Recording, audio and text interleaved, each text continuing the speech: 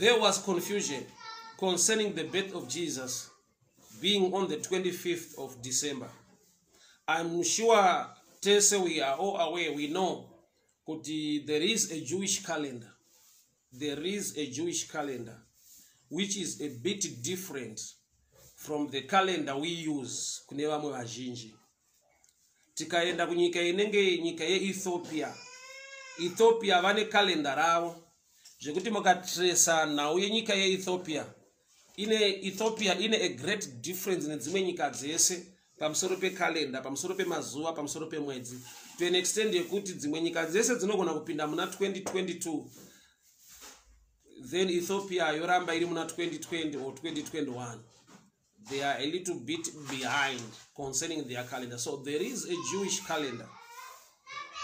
So munzvimbo yakaberekerwa jesu mumiddle east vane a jewish calendar yavanoshanda nayo. So concerning the date or concerning the day it's not much of a problem according to the scriptures. What really matters is you believing that he came in flesh. He was born. He came in flesh. The word became flesh. Chinhu chikava nyama chinoberekwa. Chinhu chikava nyama the word was with god the word became flesh and it dwelt among us. So jesu wakaberekwa thats the truth yatinofanira kuita embrace nekugamuchira. So nyaya iripo ndeyekuti when we celebrate xmas takaiisa pana jesu there is nothing wrong with that. The date can be wrong the day can be wrong but what is the truth there? He was born he came in flesh and he died for us. And on the third day he was resurrected. Right now he is sitting on the right hand of the father. So what really matters? Kutenda kuti jesu wakaberekwa nepurpose yekuti aende pacross to redeem humankind. So kana uchitenda kuti jesu aivako akaenda pamuchinjikwa akakufira hakuna anofa asina kunge aberekwa. Tingapotsa kuziva the actual date but celebrating the birth of christ is something good for the body of christ to embrace.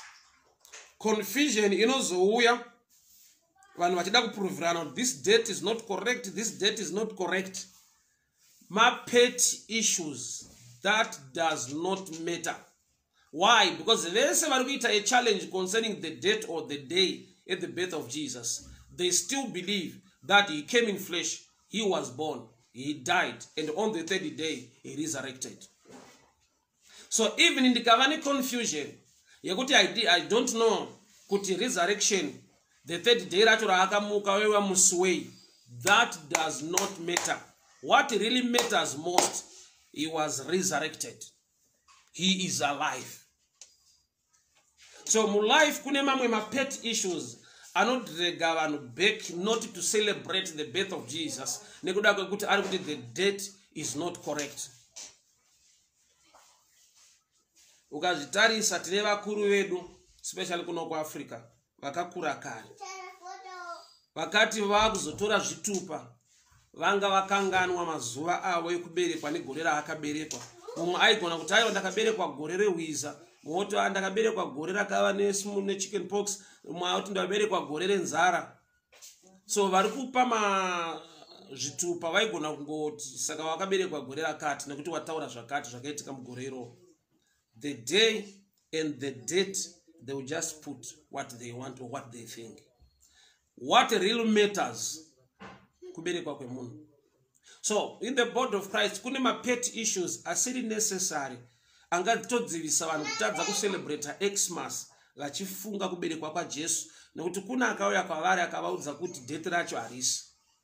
Zvino kana dheti rekuberekwa kwajesu risiriro 25 december but is it worth kuti ndichiregera kucelebrata the birth of messiah kana ndichitenda kuti he became flesh wakaberekwa akava munhu pakati pevanhu? So kana ndichitenda mukufa kwake ndinofanirwa kutenda mukuberekwa kwake dheti raari to me does not matter. Death resurrection to me does not matter. What really matters most i believe he died for me. I believe he resurrected. I believe he is alive.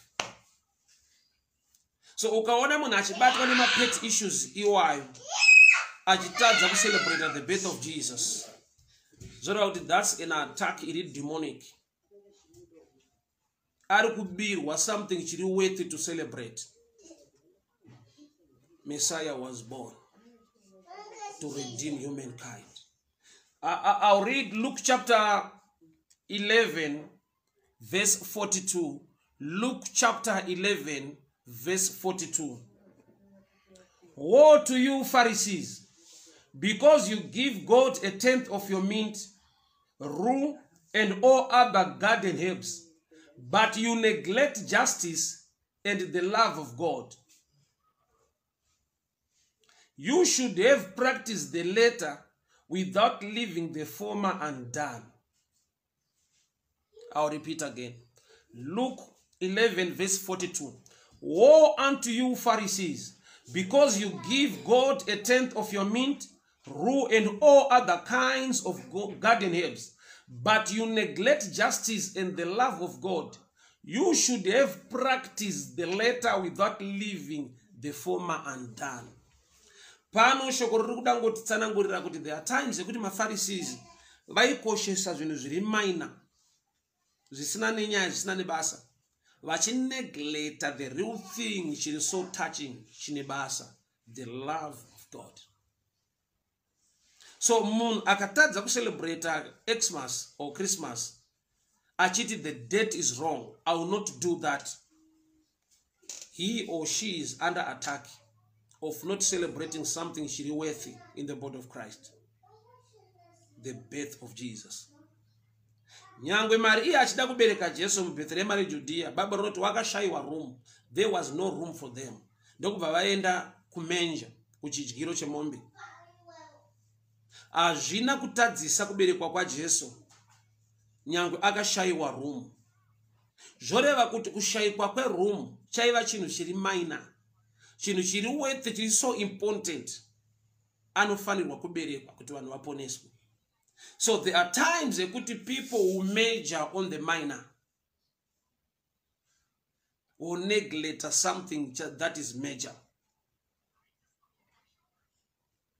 what's real great or what's real big concerning xmas?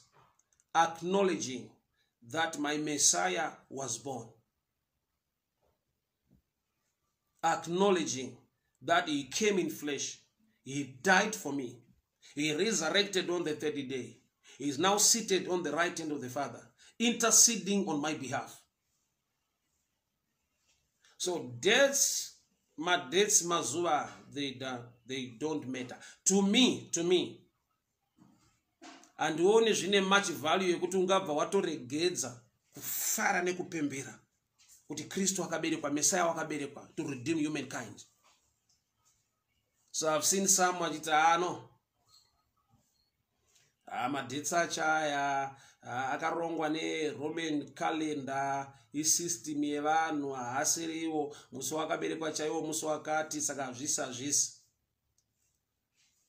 The major thing he was born to redeem humankind. So you can choose all right you can choose to celebrate the birth of jesus any day any time. That does not matter. What matters most you are celebrating or you are acknowledging that messiah was born he came in flesh. He came in flesh. So acknowledging that that's the most important thing. So subject and yandiinayo concerning christmas. Confusion iri attack ya yapinda muvanhu some they are not celebrating. Vachiti we don't connect this day to jesus but i've come to challenge somebody. You can connect any day to the birth of jesus. Why? Because acknowledging that he was born that's the major thing. Acknowledging that he came in flesh and died for us that's the major thing. Date does not matter. Day does not matter. But acknowledging that he came and he died for me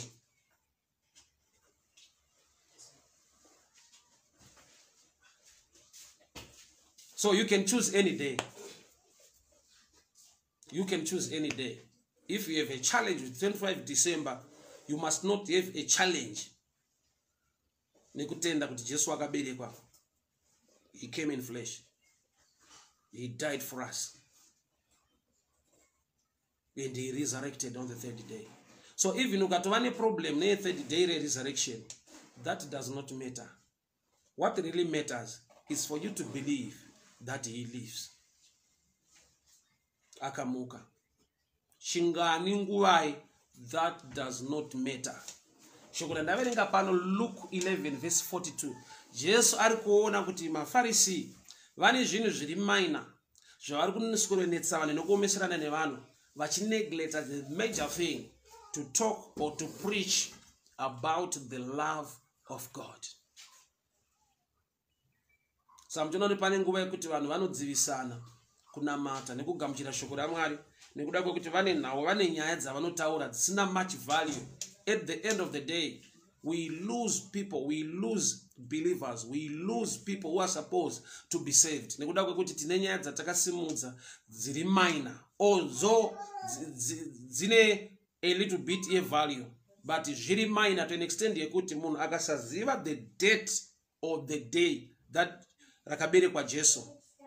Hazvidzivise him or her to celebrate the birth of jesus. Why? Because acknowledging that he came in flesh. Zvinokosha. Kuziva kuti akaberekwa to redeem humankind. Nekuti hatingatauri kufa tisingatauri kuberekwa. So munhu ukapotsa dheti raakaberekwa ukaputsa dheti raakafa usapotsa kutenda kuti wakaberekwa akandifira uye kuti ndiwane ruponeso. Thats the major thing i've come to clear, to clear on this platform. Kana pakava neshasha dzinoziva we thank god for that. But the main thing vanhu ngavasatadziviswe kupembera nekufara connecting 25 to the birth of jesus because you can connect any day to celebrate the birth of jesus. Why? Because he